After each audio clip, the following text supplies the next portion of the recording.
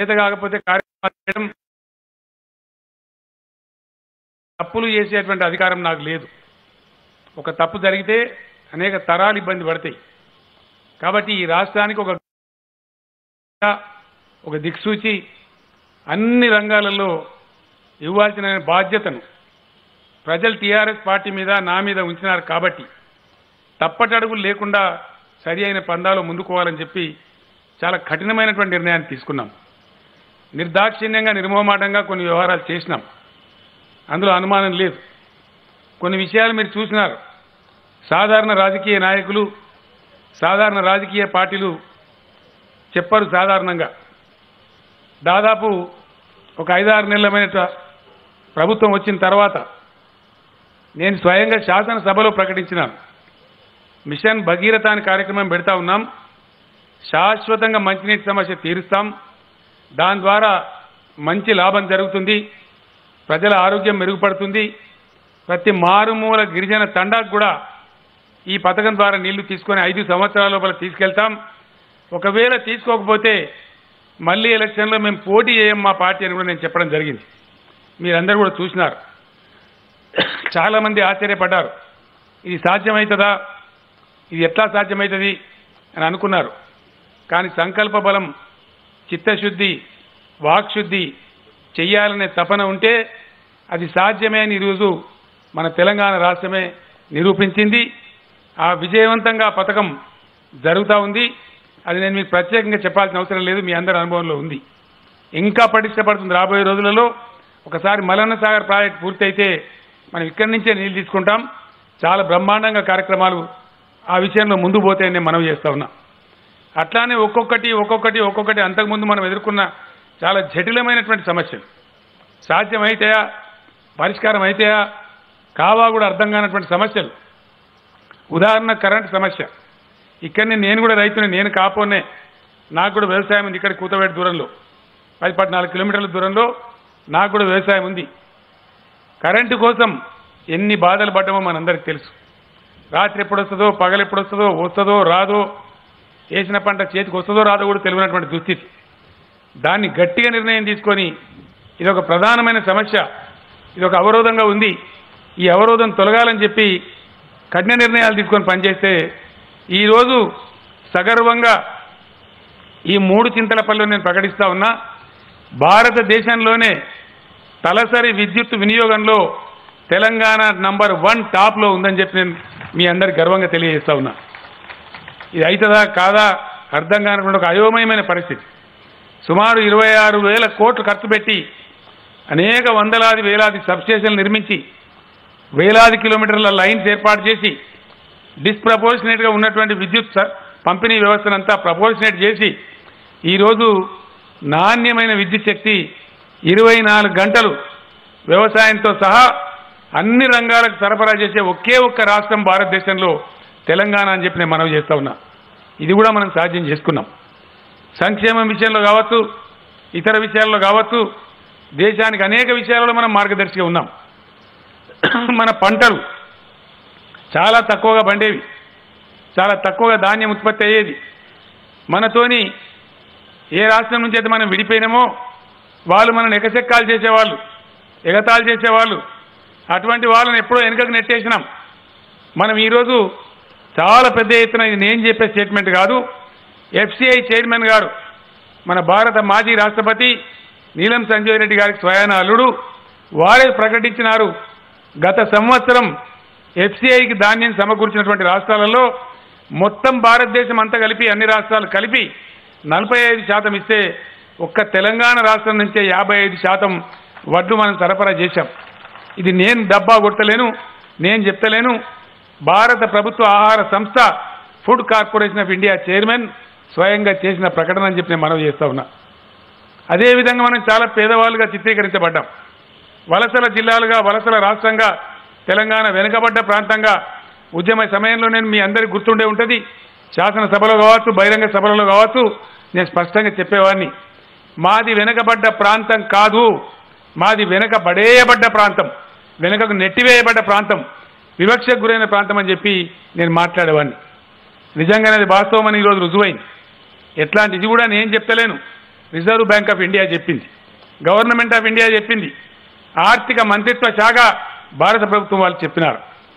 రెండు వేల పద్నాలుగులో తెలంగాణ రాష్ట్రం ఏర్పడ్డ నాడు మన తలసరి ఆదాయం ఒక్క లక్ష పన్నెండు వేల రూపాయలు. కేవలం ఐదున్నర ఆరు సంవత్సరాలలో ఈరోజు తెలంగాణ తలసరి ఆదాయం రెండు లక్షల ఇరవై ఎనిమిది వేల రూపాయలు. అంటే డబుల్ మోర్ దాన్ డబుల్ అయిపోయింది. ఆనాడు పదమూడో స్థానంలో పద్నాలుగో స్థానంలో ఇండియాలో మనం ఉన్నాం. ఈరోజు నేను గర్వంగా చెప్తా ఉన్నా భారతదేశంలో మనం ఐదవ స్థానంలో ఉన్నామని చెప్పి నేను తెలియజేస్తా ఉన్నా. అంటే ఇంత ఆర్థిక ప్రగతిని కూడా మనం సాధించుకోగలిగినాం. టీఎస్ ఐపాస్ కావచ్చు పరిశ్రమలు నాగమానించడం కావచ్చు ఇంకా అనేక ఇతర పాలసీలు కావచ్చు ల్యాండ్ ఆర్డర్ నిర్వహణ కావచ్చు చాలా చక్కగా మనం ముందుకు పోయినాం. ఇంకా చాలా విషయాలని అవన్నీ నేను మీ ముందు ఏకరువు పెట్టడం లేదు. చాలా చాలా విషయాలలో మనం ప్రగతి సాధించినా ముందుకు పోయినాం.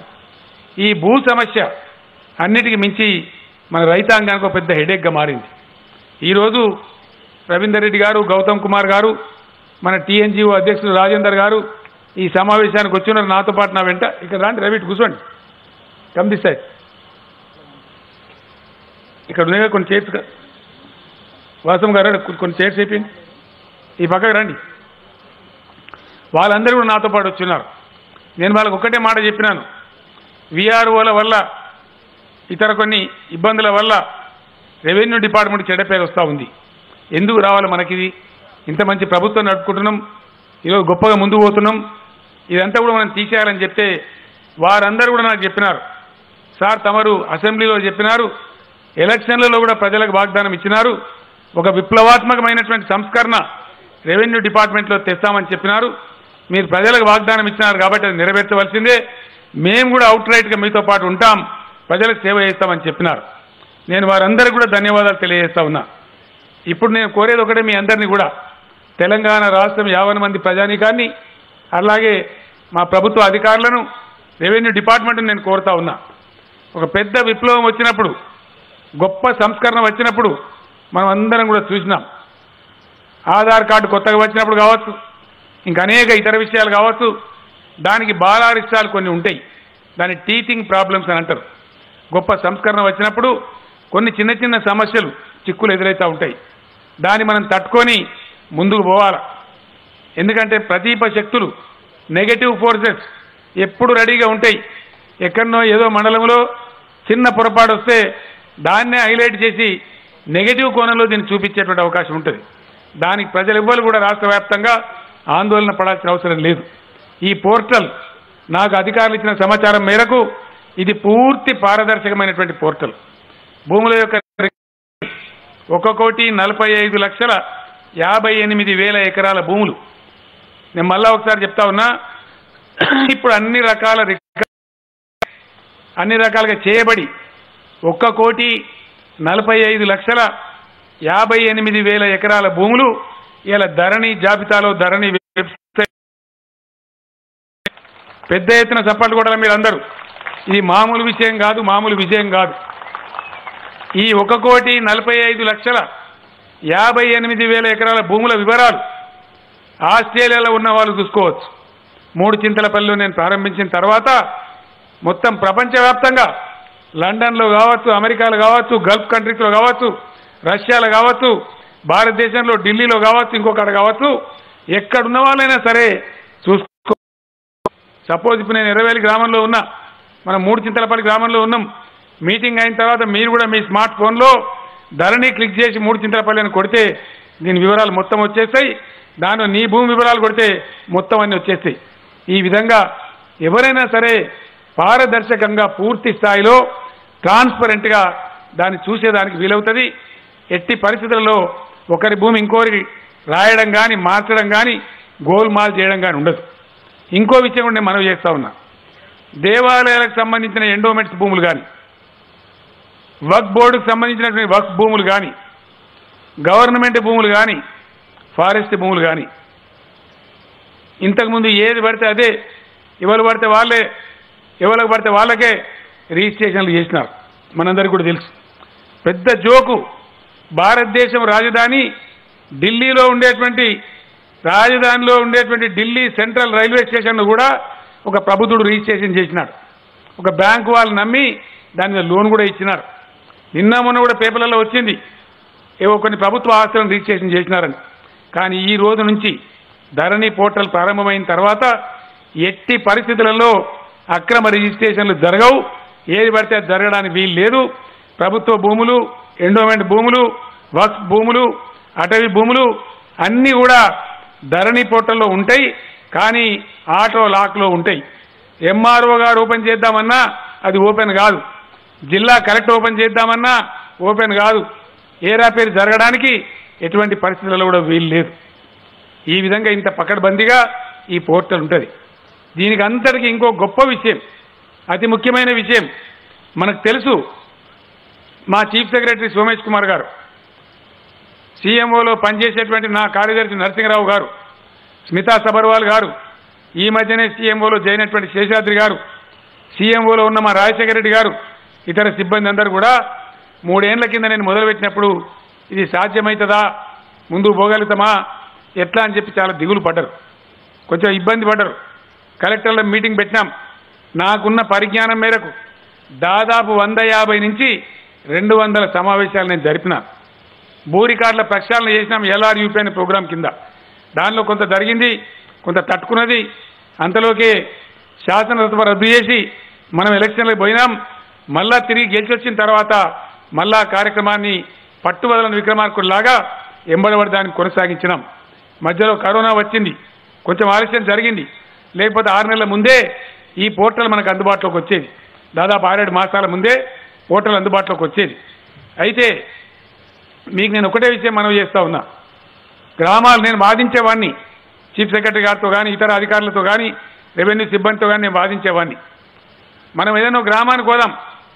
మూడు చింతలపల్లిలో ఉన్న లక్ష్మాపూర్ గ్రామానికి పోదాం. లక్ష్మాపూర్ అఫ్ కోర్స్ అది వేరే డిఫరెంట్ కథ. నేను లాస్ట్ టైం వచ్చినప్పుడు ఆ ఊరికి నక్షానే లేకుండే. ఆ విధంగా ఉండే రెవెన్యూ అస్తవ్యస్తంగా ఉండే. లక్ష్మాపూర్ వాళ్ళు ఉన్నారు కదా సమావేశంలో? సమావేశంలో ఉన్నారా అండి? లక్ష్మాపూర్ వాళ్ళు ఉన్నారా? నక్షా కూడా లేకుండా ఊరికి. దాన్ని మళ్ళీ చెప్పి కలెక్టర్ని పంపించి సర్వేలు చేయించి గందరగోళం చేసి దానికంతా కూడా ఒక ఏర్పాటు చేసినాం. ఈ మధ్యన అది కూర్చోబడ్డది మూడు చింతలపల్లి మండలంలో ఉండే ఏ గ్రామానికైనా పోదాం మనం. ఏం కనపడుతుంది? నూటికి తొంభై తొమ్మిది మంది గెట్లున్నాయి గట్లున్నాయి అన్ని ఉన్నాయి ఇవాళ బతుకువాళ్ళు బతుకుతున్నారు. పంచాయతీలు ఉంటే కేసులు ఉంటే ఎన్ని ఉంటాయి ఒక పర్సెంట్ రెండు పర్సెంట్. ఆ ఒక్క పర్సెంట్ రెండు పర్సెంట్ కోసం మిగిలిన దాన్ని మనం ఎందుకు పెండింగ్ పెట్టాలి అని నిరంతరం నేను అధికారులతో వాదించేవాడిని. ఆ విధంగానే కార్యక్రమాన్ని తీసుకున్నాం. ఆ విధంగానే ముందుకు వచ్చినాం. దాంతో ఈరోజు నేను ఇంతకుముందే చెప్పినటువంటి కోటి నలభై ఐదు లక్షల యాభై ఎనిమిది వేల ఎకరాల భూములు ఎటువంటి పంచాయతీ లేకుండా కిరికిరి లేకుండా ఈరోజు ధరణి పొట్టలోకి వచ్చినాయి. వాటి రిజిస్ట్రేషన్లు జరుగుతాయి. కొన్ని ఉన్నాయి పరిష్కారం కానటువంటి గతంలో పార్ట్ బిలో పెట్టినారు. దాని సంగతి ఏంటి సార్ అని అడుగుతారు. నేను చెప్పిన దీనికి ఇదే జరుగుతుంటుంది దానికి అదే జరుగుతుంటుంది. ఏవైతే వివాదాలు ఉన్నాయో పరిష్కారం వస్తే పరిష్కారాన్ని బట్టి ఉంటుంది. ఏవైతే కోర్టు కేసులు ఉన్నాయో కోర్టులో ఏ జడ్జిమెంట్ వస్తే ఆ విధంగా ఉంటుంది. కొత్తగా జరిగే కొనుగోలు అమ్మకాలు ఏవైతే ఉంటాయో నిమిషాల మీద జరిగిపోతాయి. మ్యుటేషన్ కోసం రిజిస్ట్రేషన్ కోసం కాళ్ళు అరిగేదాకా ఆఫీసులో తిరిగే కర్మ మనకి ఉండదు. రిజిస్ట్రేషన్ చేసుకునే విధానం నేను ఒక నిమిషంలో మీకు తెలియజేస్తాను. ఎందుకంటే రాష్ట్రం అంతా కూడా తెలవాలి. లైవ్ టెలికాస్ట్లో ప్రజలు వింటున్నారు. ఇప్పుడు రిజిస్ట్రేషన్ చేసుకోవడానికి మునుపట్లాగా పైరవీలు చేసే అవసరం లేదు. మీకు ధరణి పోర్టల్లోనే మీరు అప్లై చేసుకునే అవకాశం ఉంది. మీ సేవా సెంటర్ ద్వారా చేసుకోవచ్చు ధరణి పోర్టల్ ద్వారా చేసుకోవచ్చు లేదా వ్యక్తిగతంగా ఆఫీస్కి పోయి చేసుకోవచ్చు. సబ్ రిజిస్ట్రార్ కార్యాలయాలు మొత్తం రాష్ట్రంలో ముతు మునుపు నూట నలభై మాత్రమే ఉండేవి. కానీ ఈరోజు ఆ నూట నలభై ఒకటి అట్లే ఉంటాయి. వాటికి అదనంగా ఐదు వందల డెబ్బై ఎంఆర్ఓ ఆఫీసులన్నీ కూడా ఇవాళ సబ్ రిజిస్ట్రార్ కార్యాలయాలుగానే మారినాయని చెప్పి నేను తెలియజేస్తా ఉన్నా. మూడు చింతలపల్లిలో మూడు చింతలపల్లి మండలంలో ఏదైనా భూమి అమ్మకమో కొనుగోలు జరిగితే ఇక్కడనే ఇప్పుడు ఇందాక నేను బటన్ వచ్చినటువంటి ఎంఆర్ఓ ఆఫీసులనే రిజిస్ట్రేషన్ చేసుకోవచ్చు. గతంలో మ్యుటేషన్ ఆర్డీఓ దగ్గర పోయేది కాళ్ళు అరిగేదాకా తిరిగేది చాలా గందరగోళం ఉండేది. ఈరోజు ఆ పరిస్థితి లేదు. మీరు ముందే స్లాట్ బుక్ చేసుకోవచ్చు. కొందరికి సెంటిమెంట్ ఉంటుంది. కొందరికి బుధవారం ఇష్టం కొందరు శుక్రవారం ఇష్టం కొందరు కొన్ని ఘాతవారాలు ఉంటాయి. ఆ రోజు భూములు అమ్మరు కొనుక్కోరు. కాబట్టి మీ ఇష్టం ఉన్న రోజు మీరు స్లాట్ బుక్ చేసుకోవచ్చు. అంటే మీ వేదిక మీ టైం బుక్ చేసుకోవచ్చు. ముందే మీరు ఫీజు కట్టేయచ్చు. మీరు రాసుకుంటామంటే నమూనా పత్రాలు కూడా మీకు అందుబాటులో ఉన్నాయి. ధరణి పోర్టల్లోనే ఉన్నాయి. మాకు మధ్యలో ఏ బ్రోకర్ అవసరం లేదు. ఏ డాక్యుమెంట్ రైటర్ అవసరం లేదు. మాకే చదువు వస్తుందంటే నమూనా పత్రాలు కూడా రెడీగా ఉన్నాయి. మీరు బాధ్యత మీరే రాసుకొని పోవచ్చు. లేదు మేము రాయించుకుంటామంటే డాక్యుమెంట్ రైటర్స్ ఉన్నారు. వాళ్ళు రాసి సాయం చేస్తారు. వాళ్ళు కూడా ఎటు పడితే డబ్బులు వసూలు చేయరు. మునుపట్లాగా ఫిక్స్డ్ ఫీజు ఉంటుంది. రాబోయే పది పదిహేను రోజులలో ఏ మండలానికి ఎవరు రైట్ డాక్యుమెంట్ రైటర్స్ ఉంటారో వాళ్ళ పేర్లు కూడా అధికారికంగా జిల్లా కలెక్టర్లు ప్రకటిస్తారు. వాళ్ళు మాత్రమే ఆ పని చేస్తారు. ఆ రకంగా పనులు జరుగుతాయి. ఈ విధంగా ఎక్కడికి తిరిగేటువంటి అవసరం లేదు. ఒక ఇద్దరు వ్యక్తులు ఒక ఆయన అమ్మిండు ఇంకో ఆయన కొనుక్కున్నాడు. ఇది మంచిగా వినాలి అందరూ కూడా. దీనిలో కన్ఫ్యూజన్ కావడానికి ఆస్కారం లేదు. ఇద్దరు వ్యవసాయదారులు అయితే ఇద్దరు కూడా పాస్బుక్లు ఉంటాయి. ఒక ఆయన రెండు ఎకరాలు ఇంకొక ఆయన కమ్మిండు ఇద్దరు కలిసి బేరం మంచి చెడ్డ అయిపోయిన తర్వాత వాళ్ళిద్దరు కలిసి ఎంఆర్ఓ ఆఫీస్కు ఇన్ఫామ్ చేయాలి. మేము పలానా విధంగా రిజిస్ట్రేషన్ చేసుకో తలుచుకున్నాం. దాని ప్రకారం ఈ ఫీజు ఈ చలాన్ ప్రకారం కడుతున్నాం అని ఫీజు కట్టేయచ్చు. మ్యూటేషన్ ఫీజు కూడా ఉంటుంది. అది కూడా కట్టేయచ్చు. ఎందుకంటే రెండు సార్లు కడితే రైట్ ఎస్టాబ్లిష్ కావాలి హక్కు ఎస్టాబ్లిష్ కావాలి. రిజిస్ట్రేషన్ ఫీజు ఉంటుంది. మ్యూటేషన్ ఫీజు చాలా స్వల్పంగానే పెట్టినాం తక్కువనే పెట్టినాం. ఆ సందర్భంగా మ్యూటేషన్ ఫీజు కూడా చెల్లిస్తే ఆ రైట్ కూడా రైతుకు వస్తుంది అతనికి సేఫ్టీ ఉంటుంది కాబట్టి మ్యూటేషన్ ఫీజు కూడా కొంచెం చెల్లించేసి రెండు చెల్లిస్తే మీకు ఏ మీరు కోరుకున్న స్లాట్ ఏ రోజైతే మీరు కోరినరో ఆ స్లాట్ మీకు అలాట్ అవుతుంది. మీరు వచ్చిన తర్వాత నాకున్న నాలెడ్జ్ మేరకు మ్యాక్సిమం పదిహేను ఇరవై నిమిషాలలో అప్పటికప్పుడే రిజిస్ట్రేషన్ అయిపోతుంది మ్యుటేషన్ అయిపోతుంది మీ పాస్బుక్లో మారుతుంది కొన్నాయన పాస్బుక్లో ఎక్కుతుంది అమ్మినాయన పాస్బుక్లోకి వెళ్ళి డిలీట్ అయిపోతే తీసేస్తారు. అప్పుడే సైట్లో కూడా వచ్చేస్తుంది ధరణి సైట్లో కూడా వచ్చేస్తుంది. వాపసు వెళ్ళిపోయేటప్పుడు ఇరవై నిమిషాలలో మీరు వాపసు పోయేటప్పుడు మీకు ఇచ్చే డాక్యుమెంట్లు ఏంటి? ఎవరి పాస్బుక్ వాళ్ళకి ఇస్తారు. రిజిస్ట్రేషన్ కాగితాలు కొనుక్కునే ఆయనకి ఇస్తారు. ధరణిలో ఎక్కినటువంటి నకల్ అప్పటికే పోర్టల్లో వచ్చింది కాబట్టి ఆ పోర్టల్ కాపీ కూడా తీసి మీకు ఇస్తారు. పాస్బుక్లు కూడా ఇచ్చేస్తారు. ఈ విధంగా మీరు హ్యాపీగా ఇంటికి వెళ్ళిపోవచ్చు. మళ్ళీ కాలరిగల తిరుగుడు ఆర్టీఓ ఆఫీస్ కోడు ఈ ఆఫీస్ కోడు ఏ ఆఫీస్ ఏ పని లేదు. మీరు రిజిస్ట్రేషన్ రిజిస్ట్రార్ ఆఫీసులో మీ తహసీల్దార్ ఆఫీసులో ఉండగానే ధరణి పోర్టల్లో అప్పుడే వచ్చేస్తుంది ప్రపంచమంతా తెలిసిపోతుంది. ఒకవేళ పాస్బుక్లో డిలీట్ అవుతుంది ఇంకో పాస్బుక్లో యాడ్ అవుతుంది. బ్యాంకు పోతే మన పాస్బుక్ ఎట్లయితే అప్డేట్ అవుతున్నదో ఈ కాడికి వెళ్ళి భూమి అన్న అమ్మినా కొన్నా మన పాస్బుక్లలో ఆటోమేటిక్గా అది యాడ్ అయిపోతుంది. డిలీట్ కూడా అయిపోతుంది. అదేవిధంగా కొనే వ్యక్తి ఒకవేళ గతంలో భూమి ఆయనకు లేదు. కొత్తగా భూమి కొనుక్కున్నాడు. ఆయన పాస్బుక్ లేదు. అటువంటి వ్యక్తికి పాస్బుక్ ఇవ్వబడుతుంది అది వెంటనే రాదు. అతను కొంత ఫీజు కట్టాలి. దేనికి?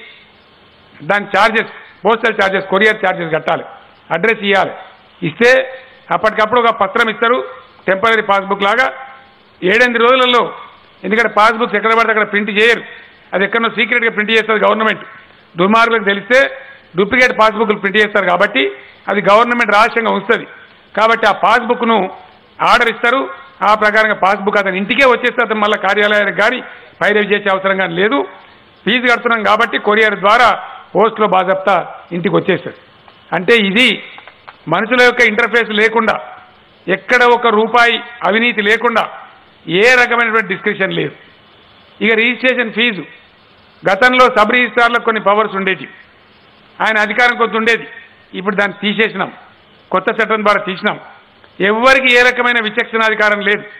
No description power at all at any level ఏదైతే పాత రిజిస్ట్రేషన్ భూముల విలువలు ఉన్నాయో అదే విలువలు కూడా ఇప్పుడు మళ్ళా నిర్ధారించడం జరిగింది.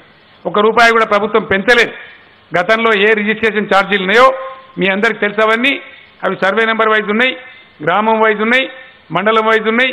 కాబట్టి అదే రిజిస్ట్రేషన్ ఛార్జ్ మీకు ముందే తెలుస్తుంది కాబట్టి ఆ రిజిస్ట్రేషన్ ఛార్జీ రిజిస్ట్రేషన్ ఆఫీస్కి రాకముందే మీరు పేమెంట్ కూడా చేస్తారు కాబట్టి ఎవ్వరికి ఏం విచక్షణాధికారం లేదు. గింత గంత ధర అని లేదు. ఇంకో మాట కూడా మీకు చెప్పాలి. ప్రజలకు తెలియాలి సపోజ్ ఒకడు మన సర్వే నెంబర్ పక్కన ఎవడో ఒకడు ఇరవై లక్షలు చేసుకోండి రిజిస్ట్రేషన్. ఇంతకుముందు సబ్ రిజిస్టార్ పవర్ ఉండే. అవ పక్కది ఇరవై లక్షలకు అయింది కాబట్టి నువ్వు కూడా ఇరవై లక్షలకి ఇవ్వాలి బిడ్డ అంటుండే. లేదు సార్ వద్దు. నేనేమైనా బల కింద డబ్బులు ఇస్తా అంటే అవి తీసుకొని మళ్ళీ పాతదానికే చేస్తుండే. ఇప్పుడు ఆ అధికారం లేదు. అది ఇరవై లక్షలన్నా ముప్పై లక్షలన్నా ఏదున్నా సంబంధం లేదు. ఏదైతే ప్రభుత్వం నిర్ణయించిన భూమి ధర ఉందో రిజిస్ట్రేషన్ వాల్యూ ఉందో ఆ వాల్యూ మాత్రమే దాని ప్రకారం మాత్రమే మీరు డబ్బులు కట్టాలి తప్ప మీరు పక్కకు ఎక్కువైనా తక్కువైనా ఏదైనా ఒక్క రూపాయి కూడా ఎక్కువ కానీ తక్కువ కానీ ఇచ్చే అవసరం కూడా లేదు. ఇవన్నీ కూడా చాలా సాఫీగా జరిగిపోతాయి. చాలా చక్కగా జరిగిపోతాయి. నేను మీ అందరితో ఒకటే కోరుతా ఉన్నా. ఇంత గొప్ప సదుపాయం కళలో కూడా చరిత్రలో కూడా మనం ఊహించలే. ఇటువంటి మంచి అవకాశం మొత్తం రాష్ట్రంలో ఉండే యాభై తొమ్మిది అరవై లక్షల మంది రైతులకు వస్తుందని మనం అనుకోలే.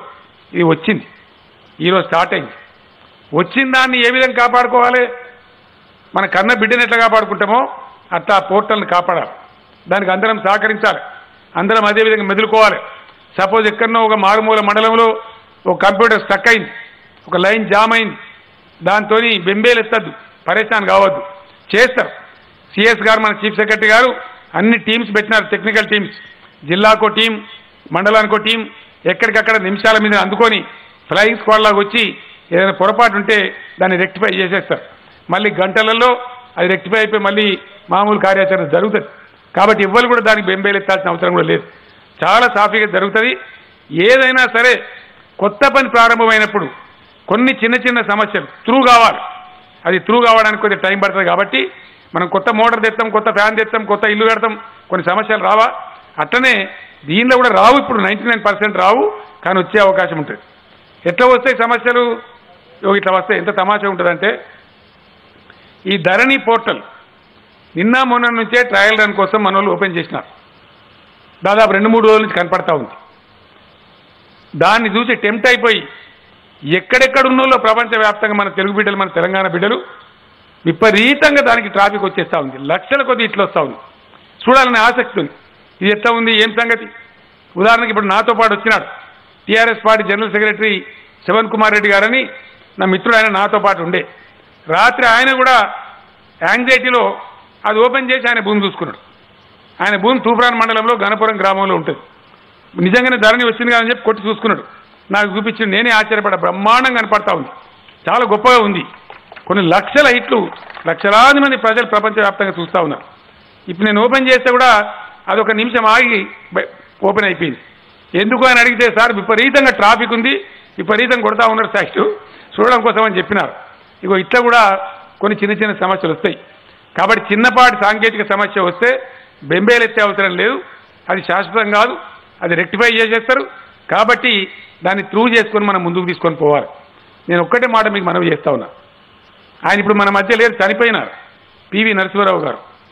ఈ దేశంలో అనేక రాష్ట్రాలలో భూములు ఉన్నాయి.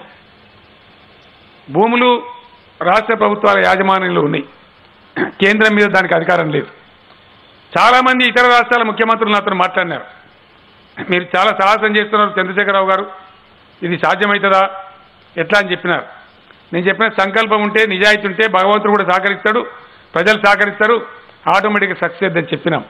దాని ఫలితమే ఈరోజు మనం లాంచ్ చేసినాం. ఇలా తెలంగాణ చేసింది అని పక్క రాష్ట్రం ధన్మని చేద్దామంటే సాధ్యం కాదు. దీని వెనుక మన రెవెన్యూ డిపార్ట్మెంట్ అధికారులు మన సీనియర్ అధికారులు మన చీఫ్ సెక్రటరీ గారు ముఖ్యమంత్రి పేషీలో ముఖ్యమంత్రి ఆఫీసులో పనిచేసే సెక్రటరీలు మూడు సంవత్సరాల విశేషమైనటువంటి కృషి దీని వెనుక ఉన్నది. చాలా మదనం ఉన్నది. అనేక ఇబ్బందులు పడ్డరు. కొన్నిసార్లు అయితే రాత్రి రెండు మూడు కూడా అయ్యేది. నేను కూడా కూర్చుండేవాడిని. ఇదెట్లా ఇదెట్లా ఇదెట్లా ఇట్లా జరిగితే ఎట్లా అని చెప్పి అనేక కార్యకారణాలు వివరించి బ్రహ్మాండమైన పద్ధతులు దీన్ని రూపకల్పన చేసినాం. ఫైనల్ ఈరోజు మీ ముందుకు తెచ్చినాం. కాబట్టి బెంబేలెత్తే అవసరం లేదు. వీటన్నిటిని మించిన హైలైట్ ఒక అద్భుతమైన నిర్ణయం మన ప్రభుత్వం తీసుకున్నది. ఎందుకంటే అక్కడనో ఇక్కడనో కొంతమంది కిరికిరి కావాలంటే వాళ్ళు ఉంటారు. వాళ్ళు ఎప్పటికి ఉంటారు. అంతటా ఉంటారు. వాళ్ళు ఎవరంటే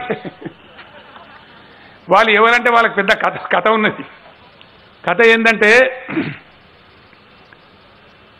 శ్రీరామచంద్రుడు లంక మీద యుద్ధానికి పోయింది చెప్పానా బోరు కొడుతుందా మీకు? వాళ్ళు ఎవరో తెలియాలి కదా మనకు. లంక మీద యుద్ధానికి అమ్మవారిని సీతమ్మవారిని విడిపించరావడానికి పోయింది సరే యుద్ధం జరుగుతాను అప్పుడు ఏంటంటే ధర్మయుద్ధం. ఎటువంటి అటు అగాధం మోసం చేసే యుద్ధం ఉండదు. సాయంత్రం యుద్ధం విరమణ గంట కొడితే విరమించి ఎక్కడో అక్కడ ఉంటారు. రివ్యూ చేసుకుంటారు ఏం జరుగుతుంది మన సైనికులు ఎందరు చచ్చిండ్రు శత్రువు పెట్టినాడు మనం ఎట్లున్నాం ఇంకేమేం చేయాలి యుద్ధం గెలవానంటే ఏం చేయాలి అని రివ్యూ చేసుకుంటారు. ఒకరోజు యుద్ధం విరమణ అయిపోయింది. రాముల వారు సైన్యాధిపతులంతా కూర్చున్నారు. కూర్చుంటే ఆయన చెప్పిండు అయా రాముల వారు మరి మన ఏమో వానర సైన్యం అయిపోయింది కోతలు అయిపోయినాయి. ఆ రావణాసురుని సైన్యం అంతా పెద్ద రాక్షసులు ఉన్నారు. ఒక్కొక్క రాక్షసు దొరికితే పది పది ఇరవై ఇరవై కోతులు చచ్చిపోతున్నాయి. ఇక ఎట్లన్నా చేసినా అది యుద్ధం మనం గెలవాలి మనం ధర్మం మన దిక్కున్నది. గెలవకపోతే మంచిది కాదు గెలవాలి. మరి గెలవానంటే ఎట్లా? గెలవానంటే గెలవచ్చు. నా దగ్గర బ్రహ్మాండమైన రామబాణం అనే ఒక అస్త్రం ఉన్నది. కానీ రామబాణం తీసి వేస్తే రావణాసురంతో సహా దానికి ఎదురుగా వచ్చిన వాళ్ళు అందరూ చచ్చిపోతారు. అది కొద్దిగా సృష్టి నియమానికి విరుద్ధం. మరి ఏం చేయాలని అంటాడు ఆయన? ఇక నువ్వే దేవుని కాబట్టి మరి ఎట్లా చదువుకో కానీ మొత్తానికి మాత్రం యుద్ధం గెలవాలి గెలిపి అని అడుగుతారు. సరే మంచిదని చెప్పి తెల్లారి యుద్ధం స్టార్ట్ అయిన తర్వాత ఆయన ప్రార్థన చేసి రామబాణం ఇస్తారు రావణాసురంతో సహా మొత్తం అందరూ చచ్చిపోతారు. చచ్చిపోయి రాముల వారు గెలుస్తారు. రామవారిని సీతమ్మ సీతమ్మవారిని విడిపించుకొని తిరిగి అయోధ్యకు ప్రయాణమై వస్తూ ఉంటారు. కొద్దిగా దూరం వస్తారు. వచ్చిన తర్వాత కొంతమంది ఎదురుకు వస్తారు. అయా శ్రీరామచంద్రమూర్తి నువ్వు దేవుని వైతివి. మరి నువ్వు రామబాణం వేసివి మేము చాలామంది సగమాయిస్తాం చచ్చిపోయినాం మేము. మరి మా సంగతి ఏంది? మా లెక్కెట్లా తేలాలి? మా ఆయుష్ కథ ఏంది? అని అడుగుతారు. అప్పుడు ఆయన చెప్తాడు కలియుగంలో మీరు గ్రామానికి ఒక ముగ్గురు నలుగురు చొప్పున పుట్టుండ్రి. మీకు ఆడ ఇస్తే అవకాశం నేను ప్రజలను మీక్కొని తిని ఉంది అని చెప్తారు ఇప్పుడు నేను చెప్పిన కిరికిరి గాళ్ళు గాళ్ళే. వాళ్ళు వాళ్ళు మనుషులు లెక్కనే ఉంటారు మన మధ్యనే ఉంటారు కానీ సంతట ఆ సంతట వాళ్ళు వాళ్ళు. మనకు కనిపించకుండా వాళ్ళ లోపల ఆ తత్వం ఉంటుంది. కాబట్టి వాళ్ళు మనకి ఇబ్బందులు పెడతారు. యాస కలిగిస్తారు. పైరవకారుల రూపంలో పంచాయతీలు పెట్టే రూపంలో జగడాల మరి కేసులు పెట్టే రూపంలో అన్నదమ్ముల గెట్ట పంచాయతీ పెట్టించే రూపంలో లేని లేని పగలు పుట్టించే రూపంలో వాళ్ళు ఉంటారు. వాళ్ళకి సగం కాకపోతే అంటే వాళ్ళ పాలన మనం పడకపోతే మన పల్లెలు గ్రామాలు శాంతంగా ఉంటాయి. మంచిగా ఉంటాయి. బాగా పనిచేయగలుగుతాం. మంచి అవకాశాలు ఉంటాయి. కాబట్టి వాళ్ళ పాలన పడకుండా మనం చూసుకోవాలి. వాళ్ళు పెట్టే వాటికి నేను కొన్ని కఠినమైన పద్ధతులు పెట్టినాను నేను దాచిపెట్టదలుచుకోలేదు. ఎట్లా? మీకు ఒక విషయం చెప్తాను అమ్మకం కొనుగోలు జరిగితే భూమి మార్పిడి జరుగుతుంది ఒకటి. రెండవది ఫౌతి అంటే వారసత్వం. ఫౌతి అంటే తెలుసు కదా? తెలుసా? తెలియదా? తెలియదా? కుటుంబ పెద్ద చనిపోయినప్పుడు మనం వారసత్వంలో మా భూములు మారుతాయి కదా పిల్లల పేరు మీద. ఆ అధికారం ఈరోజు కుటుంబానికే ఇచ్చినాం ఈ చట్టంలో. ఎవరో కుటుంబ పెద్ద అయితే చనిపోతాడో ఆ కుటుంబానికి ఇప్పుడు అధికారం ఇచ్చినాం. ఎంపవర్మెంట్ ఆఫ్ పీపుల్ ఇంతకుముందు అధికారుల మీద ఉంటే మనం మనం బదనాం చేసినాం. నన్ను లంచం అడిగిండు నన్ను ఇది అడిగిండు ఎంక్వైరీ చేసిండు లేకపోతే ఒకరిని తక్కువ రాసిండు ఒకరిని ఎక్కువ రాసిండు మనం బదనాం చేసినాం. ఇప్పుడు మనకు ఆ అధికారం లేదుగా. ఎంఆర్ఓ గారినో ఇంకోనో తిట్టే అధికారం మనకు లేదు. ఎందుకు? ఆ అధికారం మనకే వచ్చింది. ప్రభుత్వం ప్రభుత్వం ఇప్పుడు ఆ కుటుంబానికే అధికారం ఇచ్చింది. సేమ్ అమ్మకం కొనుగోలు రిజిస్ట్రేషన్ ఎట్లా ఉంటుందో ఫౌతీ విషయంలో కూడా వారసత్వ విషయంలో కూడా మార్పులు చేర్పులనేది కుటుంబ సభ్యులందరూ కూర్చొని అందరు సంతకాలు పెట్టుకొని తీర్మానం చేసుకొని ఎంఆర్ఓ గారు స్లాట్ అడితే ఆయన అలాట్ చేస్తాడు. తీర్మానం కాపీ ఇచ్చి చేసుకుంటే ఆటోమేటిక్గా ఏ వాటైతే అయితే పంచుకున్నారో వాళ్ళకి ఆ రకంగా భూములు చేసేస్తారు. ఆడికి పంచాయతీ వచ్చిపోతుంది దాని తర్వాత కూడా పంచాయతీ ఉన్నదనుకో ఇప్పుడు నేను చెప్పిన కిరికిరిగాలు పెట్టించే పంచాయతీ. నేను చెప్పిన ఇక గవర్నమెంట్ టైం ఎందుకు వేస్ట్ చేసుకోవాలి? నీకు ఇంత మంచి అధికారం ఇచ్చి మీ కుటుంబానికి అధికారం ఇచ్చినప్పుడు బుద్ధిమంతులాగా మీరు చేసుకోవాలి. చేసుకోమేమంటే ఇక కోర్టుకు పోయి తెలుసుకోమంటారు. మీకు పంచాయతీ పెట్టుకోవాలని షోకు బాగుంది కాబట్టి మీరు ఎంఆర్ఓ టైం వేస్ట్ చేయదు సివిల్ కోర్టులో పోయి తెలుసుకోండి ఆయన కోర్టు ఏ జడ్జిమెంట్ ఇస్తే ఆ జడ్జిమెంట్ ప్రకారం పోతామని చెప్పిన. లేకపోతే మళ్ళీ అధికారులను బదనాం చేస్తాం మనం ఎందుకు ఆఫీసర్ని బదనాం చేయాలా? శుభ్రంగా చేసుకొని పోతే ఆయన చేసేస్తాడు అయిపోతుంది. తహసీల్దార్ గారు ఉండకపోవచ్చు ఓ టైంలో. మరి అప్పుడు ఎవరు చేస్తారు? నాయబ్ తహసీల్దార్ సాబ్ చేస్తారు. రిజిస్ట్రేషన్ మాత్రం ఆగదు. ఒకవేళ తహసీల్దార్ గారు లేకున్నా సమయానికి ఏదైనా కారణం వల్ల రాకున్నా ఆరోగ్యం బాగాలేక రాకున్నా సెలవు పెట్టినా ఇంకో అవాంతరం వచ్చినా డిప్యూటీ తహసీల్దార్ నాయబ్ తహసీల్దార్ కూడా రిజిస్ట్రేషన్ కార్యక్రమం చేస్తారు. ఇది చాలా సులభతరంగా చేసినాం. ఇది గ్యారంటీ బాగా సూపర్ హిట్ అవుతుంది. భారతదేశం అంతా విప్లవం లేపుతుంది. వేరే ప్రభుత్వాల మీద విపరీతమైన ఒత్తిడి కూడా వస్తుందని చెప్పి మనం చేస్తా ఉన్నాం. చాలా ఒత్తిడి వస్తే మామూలుగా రాదు. భారత ప్రభుత్వం మీద ఇతర రాష్ట్రాల ప్రభుత్వాల మీద కూడా చాలా ఒత్తిడి వస్తుంది. మాకు చాలా రాష్ట్రాల నుంచి ఫోన్లు వస్తూ ఉన్నాయి. మన చీఫ్ సెక్రటరీ గారికి వస్తూ ఉన్నాయి. నాకు కూడా వస్తూ ఉన్నాయి. మేము కూడా చేయాలి కానీ చేయాలి మరి అని చెప్పినాం. అవి ఆ విధంగా ఈ ఈ పోర్టల్ రూపకల్పనలో యావన్ మంది రాష్ట్ర ప్రజలను నేను ఒకటే కోరుతా ఉన్నా. కొద్దిమంది అధికారులు తప్పు చేయొచ్చు. కొద్దిమంది వేరే రకాలుగా పోవచ్చు. అట్లా అని మనం ఎంటైర్ రెవెన్యూ డిపార్ట్మెంట్ తప్పని అనలేదు రెవెన్యూ డిపార్ట్మెంటు ఇవాళ కాదు. ఇవాళ బుట్టలే ఆ డిపార్ట్మెంట్ చాలా బాధ్యతలు నిర్వహిస్తారు వాళ్ళు. ఎంఆర్ఓ గారికి మెజిస్టీరియల్ పవర్స్ కూడా ఉంటాయి. ఇంకా అనేకమైన యాభై ఐదు రకాల బాధ్యతలు ఉన్నాయి. అవన్నీ కూడా నిర్వర్తించాలి. ఆ అధికారాలు ఇవ్వలకు పడితే వాళ్ళకి అప్పగిస్తే వాళ్ళు చేయగలగలేరు. వాళ్ళకి సాధ్యం కాదు. సంవత్సరాల తరబడి రెవెన్యూ శాఖ ఆ పనులు నిర్వహిస్తూ ఉన్నది. కరువులు వచ్చినా కాటకాలు వచ్చినా ప్రకృతి విలయాలు వచ్చినా ఎన్నికలు వచ్చినా ప్రజలకు ఆపద వచ్చినా అన్నిట్లలో కూడా రాత్రి పగలు పనిచేసే డిపార్ట్మెంట్ రెవెన్యూ డిపార్ట్మెంట్. మనం వాళ్ళని బదనాం చేసి అపార్థం చేసేదానికి మనం పూనుకోవద్దు. వాళ్ళు ఎవరో కాదు మన బిడ్డలే. వాళ్ళు ఎక్కడి నుంచి వేరే దేశం నుంచి రాలే. ఈరోజు చట్టం చాలా క్లియర్గా ఉంది. వాళ్ళు ఎటువంటి తప్పులు చేరు చేసే అవసరం కూడా లేదు. అవకాశం కూడా లేదు. ఎంఆర్ఓ గారు కాదు. ఆర్డీఓ చేయలేడు. నేను మీకు ఒకటే మాట చెప్తున్నా. భూమి రిజిస్ట్రేషన్ కావాలి. లేదు నా పేరు మీద కేసీఆర్ మీద పేరు మీద ఉన్న భూమి ఇంకోలకు మారాలి.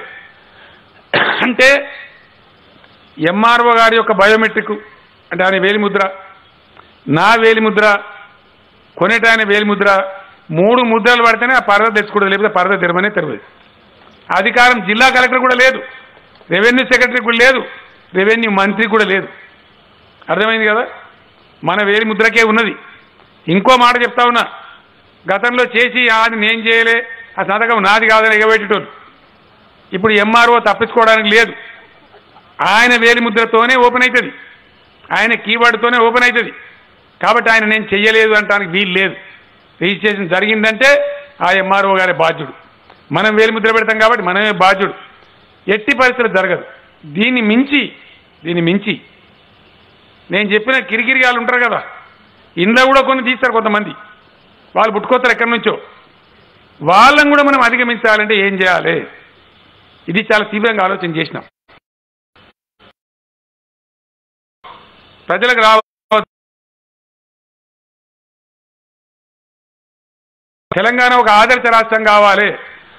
క్లీన్ ల్యాండ్ రికార్డ్స్ ఉన్నటువంటి అడ్మినిస్ట్రేటివ్ యూనిట్ ఏది ఈ ప్రపంచంలో అంటే అగో ఇండియాలో తెలంగాణ. అని అమెరికాలో కూడా చెప్పే రోజు రావాలని చెప్పి నేను నా గుండె నిండా నేను కోరుతా ఉన్నా.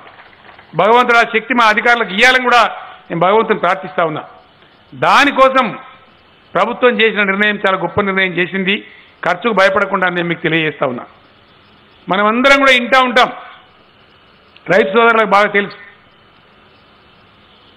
మన రాష్ట్రంలో రెవెన్యూ సంస్కరణలకు రెవెన్యూ చట్టాలకు రూపకల్పన చేసిన ప్రధానమైన వ్యక్తి సాలార్ జంగ్ గారు.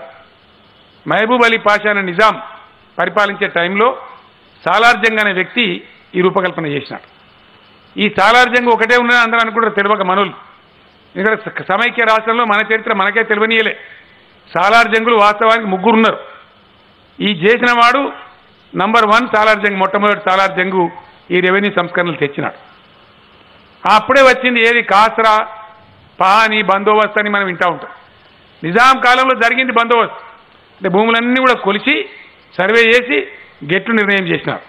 ఆ కనీలు వాతినారు సరే తర్వాత అని చిందరవందరని అది వేరే విషయం.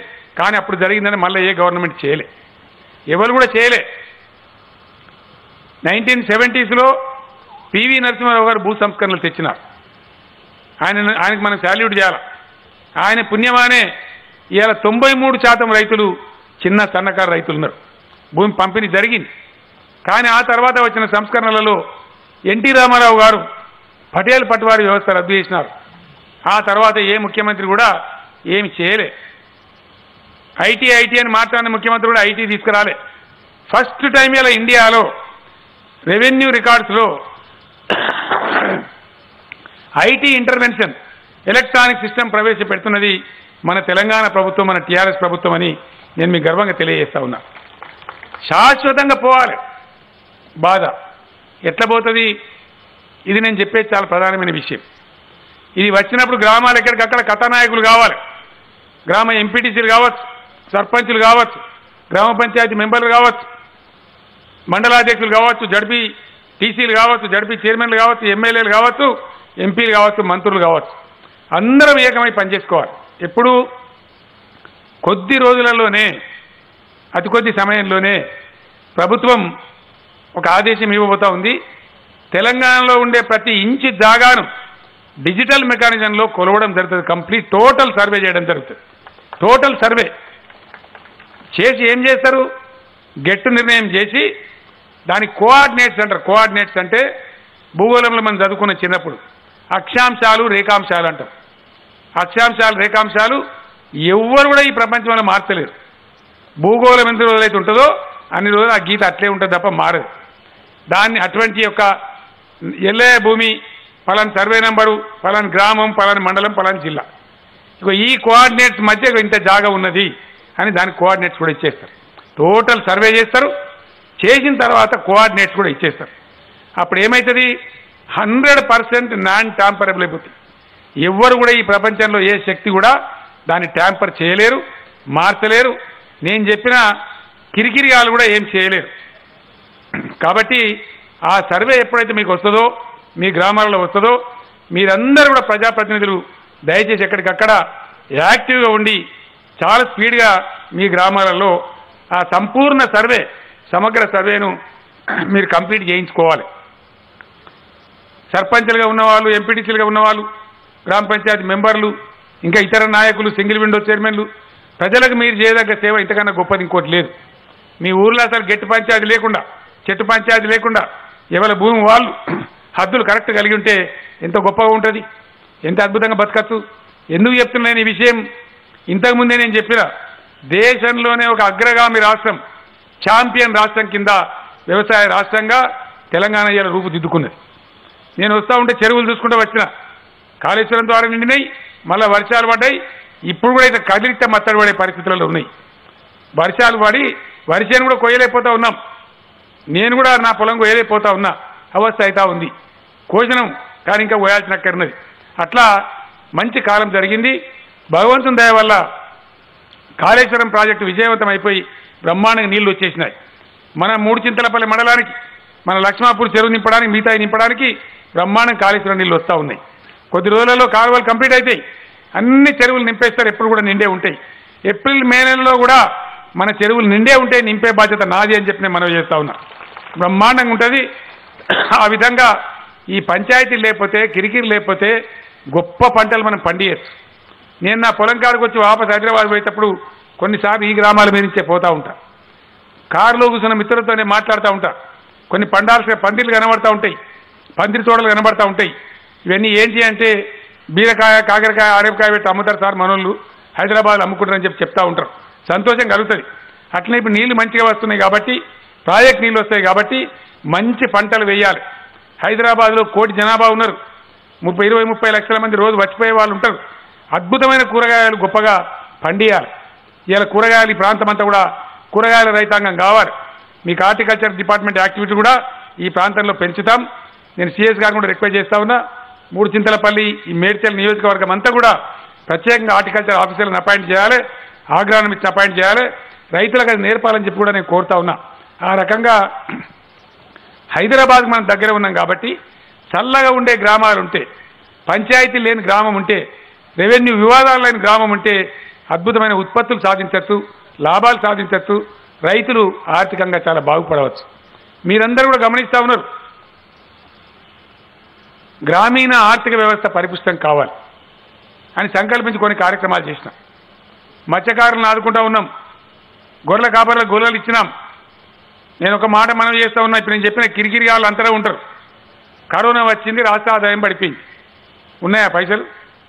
లేవు. మరి ఏం చేయాలా? ఆలస్యమవుతుంది కదా. కేంద్రం కూడా మనకి ఇచ్చే జీఎస్టీ ఎగబెడతా ఉంది. డబ్బులు వస్తలేవు అయినా తట్టుకొని నిలబడ్డం.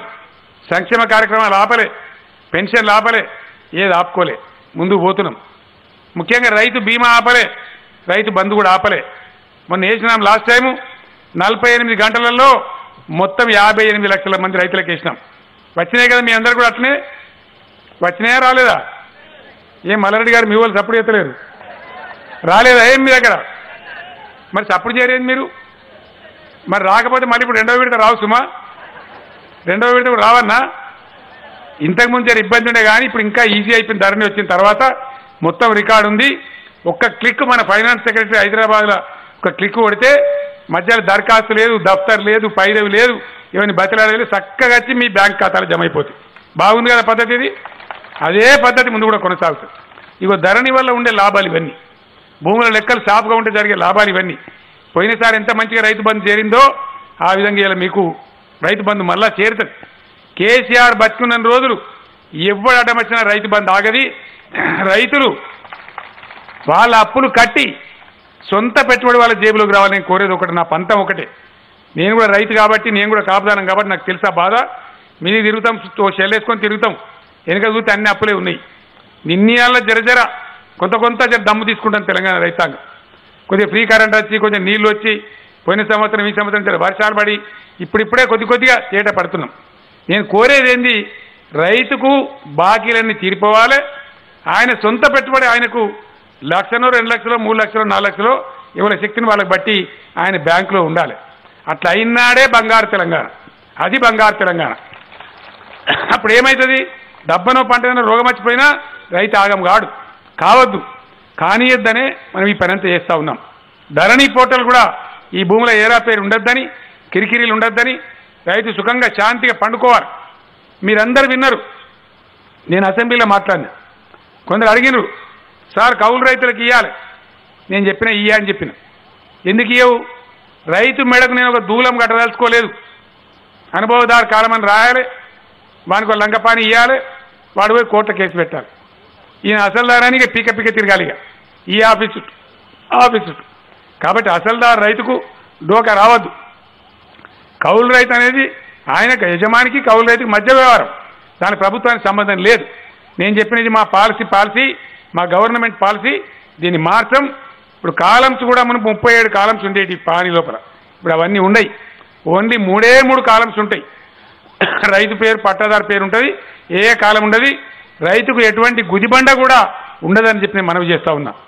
మన భూమి ఉంది అంటే మనం శాంతిగా సుఖంగా నిద్రపోవచ్చు ఎవరు మార్చలేరు ఎవరు తెల్లారి వరకు కినిమి చేయరు. చాలా మన మంచిగా సంతోషంగా ఉంటుంది. అల్టిమేట్గా అల్టిమేట్గా అంటే భవిష్యత్తులో పోతూ పోతూ పోతూ ఎక్కడికి పోతాం? కంప్లీట్ టైటిల్ సంపూర్ణమైన యాజమాన్య హక్కు కూడా ఇచ్చే దిశ కూడా ఆలోచన చేస్తూ ఉన్నాం. అది దానికి కొంచెం టైం పడుతుంది. నేను చెప్పిన సర్వే కావాలి ఇంకా స్పష్టత రావాలి. అప్పుడు కంప్లీట్ టైటిల్ కూడా ఇచ్చే అవకాశం మనకు వస్తుంది. ఆ పరిస్థితి వస్తే అదొక సువర్ణ అవకాశం గొప్ప విషయం. కాబట్టి దాన్ని ఈ ఇదంతా జరగాలి ఇదంతా ముందుకు పోవాలి అంటే మనం సహకరించాలి.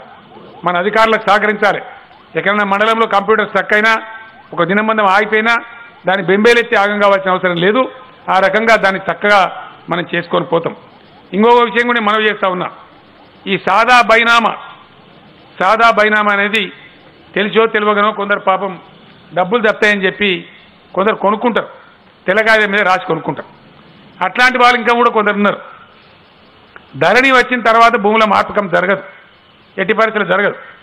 ఇలా సభలో ఉన్న వాళ్ళు వినాలే నేను లైవ్లో నా స్పీచ్ వినే వాళ్ళు కూడా వినాలి. ఇక్కడ బయట లక్షల మంది వింటున్నారు నాకు తెలుసు ఆ విషయం. సాదా బైనామాలకు ప్రభుత్వం ఇప్పుడే చిట్ట చివరి అవకాశం ఇచ్చింది. చిట్ట చివరి అవకాశం. ఈ అవకాశం తర్వాత భూమి మారాలి రెవెన్యూ రికార్డులకు ఎక్కాలంటే ఓన్లీ రిజిస్ట్రేషన్ ద్వారా మాత్రమే జరుగుతుంది. రిజిస్ట్రేషన్ లేకుండా జరగదు. ఎందుకంటే యాన్నో ఒకడ కట్టు పెట్టుకోవాలి కదా. మళ్ళీ మళ్ళీ పంచాయతీలు మళ్ళీ పైరేవులు వస్తాయి కదా. యాన్నో ఒకడ తీయిపోవాలి సో అందుకోసమే మొన్న ప్రభుత్వం ఆర్డర్ ఇచ్చి ఈ చివరి అవకాశం సాదా బైనామాల కోసం పెట్టుకోమని చెప్పినాం. దానికి ఇప్పటి వరకు నాకు ఇప్పుడే చీఫ్ సెక్రటరీ గారు ఇచ్చినారు. ఇప్పుడు ఒక లక్ష అరవై నాలుగు వేల దరఖాస్తులు వచ్చినాయి ఇప్పటికే. ఒక లక్ష అరవై నాలుగు వేలు. ఈ వేదిక ద్వారా నేను ఈరోజు పిలిపిస్తా ఉన్నా. ఇంకా కూడా దయచేసి దాదాపు ఒక వారం పొడిగించమని చెప్పి నేను సిఎస్ గారిని కోరుతా ఉన్నా. ఇవాళ నుంచి కూడా ఇంకో వారం రోజులు టైం ఇవ్వండి మొత్తం తెలంగాణ ప్రజలు నా ఉపన్యాసం వింటున్నారు.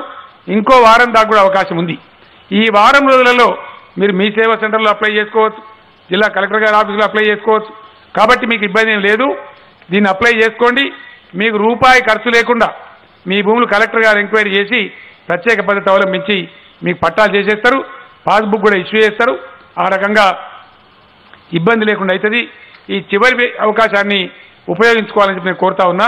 దాని తర్వాత మాత్రం ఇక సాదా బైనామా ఉండదు ఏ బైనామా ఉండదు. ఓన్లీ రిజిస్ట్రేషన్ ద్వారా మాత్రమే భూ మార్పిడి జరుగుతుంది. దానికి మనం సిద్ధంగా ఉండాలని చెప్పి నేను మనవి చేస్తా ఉన్నా. ఈ సాదా బైనామా రిజిస్ట్రేషన్ చేసేటప్పుడు ఎవరికి కూడా ఒక రూపాయి కూడా మీకు ఇబ్బంది పెట్టరు. ఇంకా కొన్ని రెండు మూడు విషయాలు ఉన్నాయి ప్రజలందరూ వింటున్నారు రాష్ట్రమంతా వింటున్నారు కాబట్టి చెప్పాలి. పోడు భూములని ఉన్నాయి. అటవీ భూములని ఉన్నాయి. అదేవిధంగా ఈ వక్ భూములని ఉన్నాయి. ఇవి తేలాలి. మన చేవెళ్ళ దగ్గర రంగారెడ్డి జిల్లాలో అప్పుడు నేను ఉద్యమం నడిపిస్తా ఉన్నా. లంబాడి వాళ్ళు పాపం గిరిజన సోదరు ఏళ్ళ నుంచి వ్యవసాయం చేసుకుంటా ఉన్నారు కొన్ని సంవత్సరాల నుంచి. ఏళ్ళకి పోయి సర్వేయర్ కొలిచిండు ఇది ఫారెస్ట్ ల్యాండ్ అని చెప్పి. వాళ్ళు ఎక్కడ పోవాలి పాపం? ఏం చేయాలా? అనుకోకుండా అలబ్ధంగా ఇది ఇది అడవి జాగా అంటే నేను చెప్పిన సమగ్ర సర్వే ఎందుకంటే ఆ అడవి భూమి ఏందో ఆ దేవాలయం భూమి ఏందో ఆ వక్ భూమి ఏందో ఒకసారి తేలిపోవాలి. లేకపోతే పెద్ద గందరగోళం వస్తూ ఉంది. దానికి కూడా సమగ్ర సర్వేనే జవాబు చెప్తాడు. కాబట్టి పోడు భూముల సమస్య కూడా వాళ్ళకి పట్టాలు ఇప్పిస్తాం గిరిజన సోదరులకు.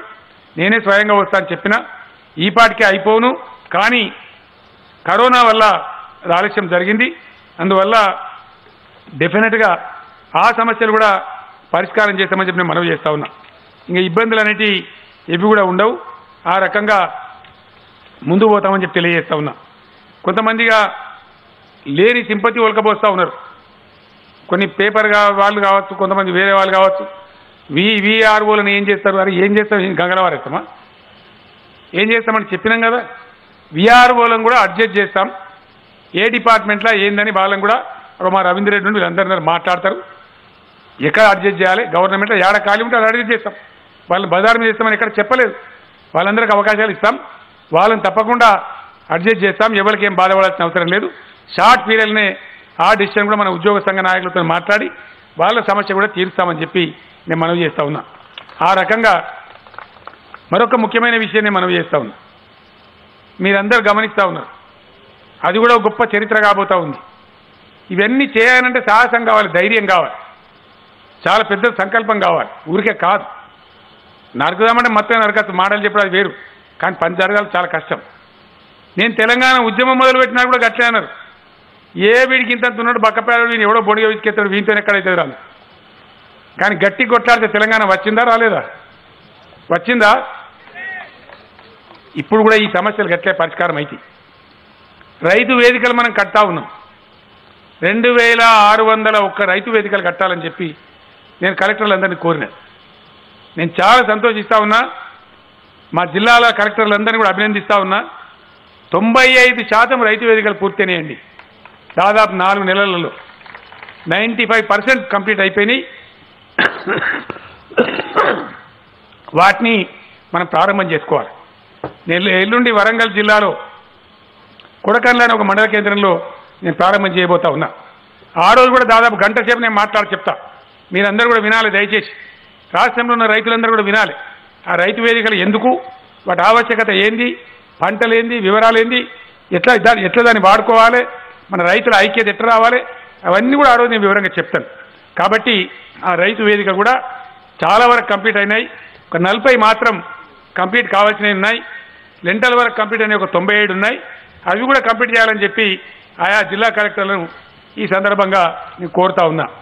రెవెన్యూ భూములలో ఎటువంటి ఇబ్బందులు లేకుండా ఉండాలని ఒక అద్భుతమైన పద్ధతిలో ఈ ధరణి పోర్టల్ మనకు ఒక మంచి బ్రహ్మాండమైనటువంటి ప్రపంచమే ఆశ్చర్యపడేటువంటి గొప్ప పోర్టల్ కావాలని చెప్పి నేను సంకల్పం చేసి మా రైతులోకం మా తెలంగాణ రైతులు ఎందుకంటే నేనే ఏడ్చిన.